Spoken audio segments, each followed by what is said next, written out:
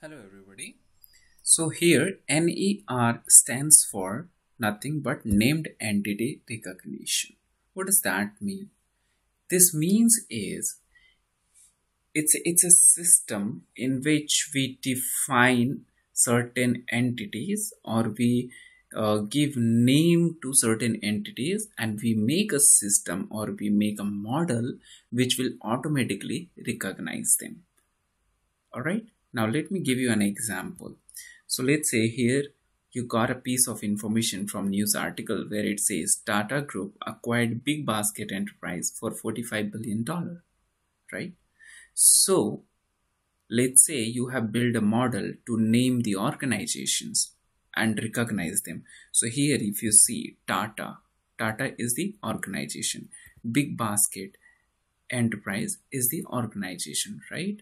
So these two are organizations. So these two can be you know tagged as organization and whenever needed you know you can implement this thing in the model and whatever input you supply wherever it finds these particular entities it will give you those articles right?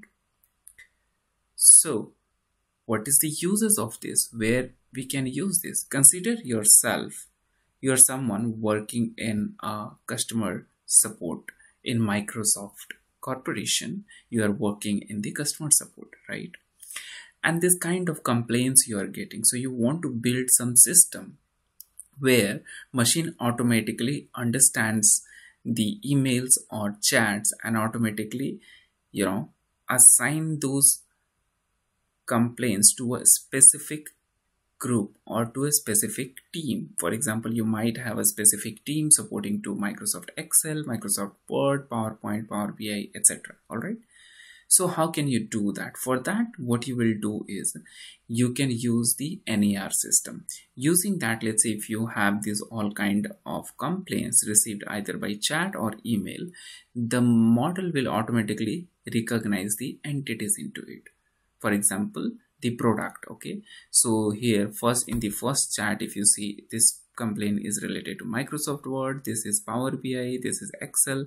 So once it automatically recognizes it then next which it can do is it can forward or assign this particular complaint to the team which is dedicated to support on microsoft excel. And those all things can be done automatically. All right isn't it interesting? Yeah it is. I can hear that now let me give you another example. For example you go on youtube and you see these all tags. For example you click on news and you get start getting all kind of news. How does this system youtube know that this particular video is related to news? Because it has been tagged somewhere right? This particular channel or this particular sentence it has been modeled as news. So and basis on that you get a named entity over here. And when you click on that related items just comes in front of you. Okay? Same way if you just click on live you're gonna get all the live videos right? So this is how this named entity recognition helps you in multiple ways. Now let me take you to the jupyter notebook and show you how you can implement this in python okay? So here i am in jupyter notebook. For this we will be using this thing you can do using nltk as well but spaCy is something which has pre-trained model and that is pretty well defined right? So we will be using that okay? So let's import spaCy if you don't have it import or uh, already installed then this is how you can install it. You need to you would require to do these two things pip install and then this particular thing. All right so let's say import spaCy and then this model also. Right? Let's see. This is giving the error. So what we can do is we can just take this as well. And let's let me just put it over here. Oops. This all right i need to uncomment this this still has some problem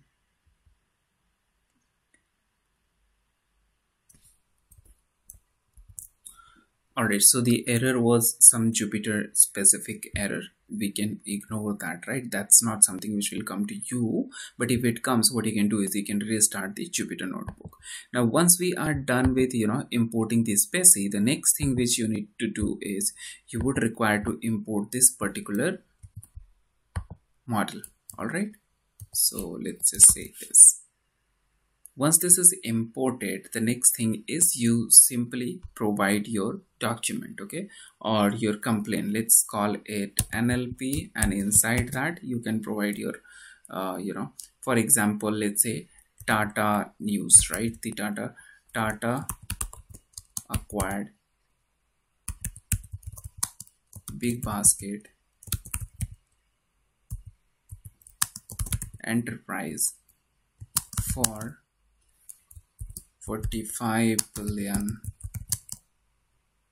dollar. 45 billion okay? So look i'm not sure about this amount. This is just a fictitious amount so don't take it seriously okay? And let me just store this in a variable. Let's call it news all right so now this is stored into it.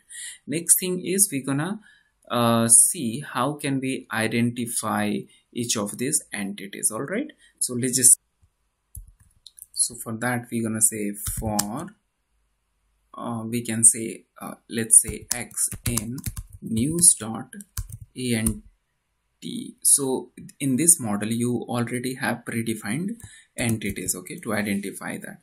And then let's just say x dot labels and in, when you when you print this you you see over here it is showing that in this particular text it finds three things organization organization and money. Means this model is trained to identify this kind of entities right? But here you are not able to identify which entity which word is a organization and so. So what you can do is you can just write x dot text. And let me just have it separated so that it will be easy for you to understand. Now you see tata is organization big basket is entity and 45 billion dollar is money right? So you see how beautiful it is.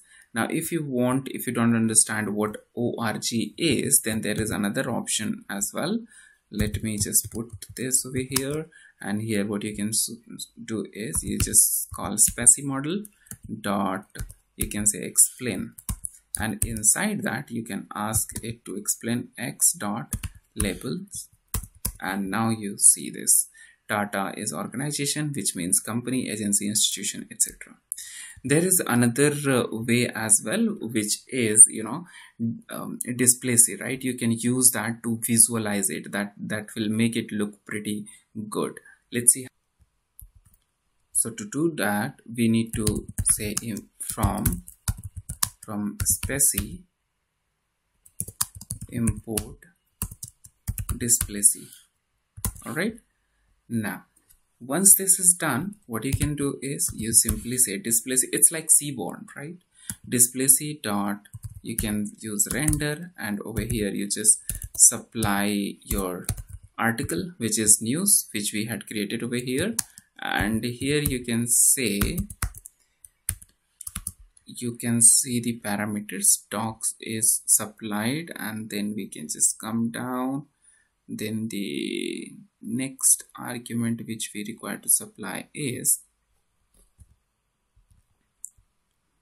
that should be style okay? So let's call it style. Style and the style would be entities because we are trying to find the entity over here. Now when you do this you see this is your original line and into that itself it is highlighting in color and it is giving the entity name as well. I mean entity category as well right? Tata is organization big basket enterprise is organization and 45 billion dollar is money. Right so this is how you can define you can implement these species so this is something which was a pre-trained model. If you have uh, some specific list of words you can you can you know it's not necessary that you use some fancy module which is predefined in you know python. What you can do is let's say if you're working in some startup company over there you might have some new words which are already not trained in this model as entity or so. So what you can do is you can define your own list and then you can do a lookup. That is it's that simple right so i just hope that it was easy for you to understand. Just in case if you get any doubt put that into the comment section. I will definitely try to help you on that